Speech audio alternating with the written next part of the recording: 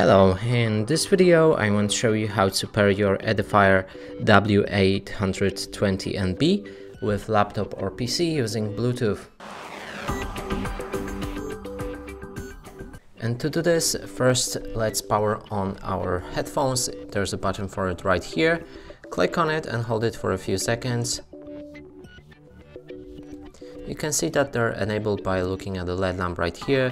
It should flash in a blue light now to enter pairing mode you will need to hold the Bluetooth key and it will take about 5 seconds I think.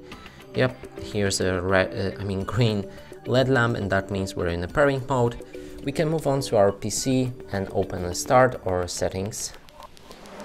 There's the settings button right here and but I'm gonna go with type and a search and enter Bluetooth and other devices. Right here, make sure that your Bluetooth is enabled and you can also try to restart it to remove all of the bugs. Then go for add device, select Bluetooth, and now wait till your edifiers appear right here.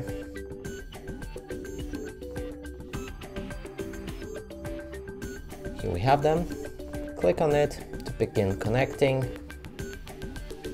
And now they are connected all we have to do is uh, uh, to make them work is to open our settings or also type in search and enter sound. Sound mixer options right here.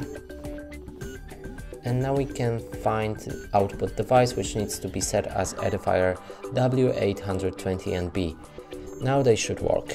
And that's it for this video. Hope you like it. Please consider subscribing to our channel. Leave a like and a comment below